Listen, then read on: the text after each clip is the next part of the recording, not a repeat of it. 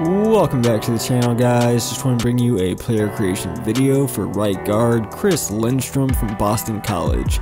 The Atlanta Falcons took Chris in the first round of the 2019 NFL Draft.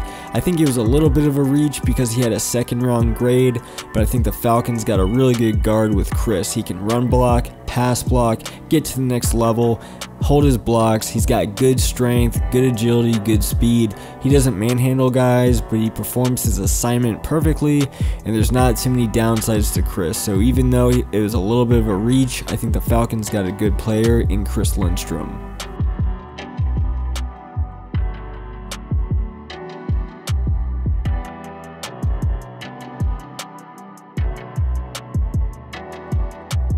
Thanks for checking out my video guys. If you enjoy my content, please hit the subscribe button. I'm going to keep doing player creation videos this week. I'm going to finish off the first and possibly the second round by Sunday, and then I'll start doing popular players from the rest of the draft.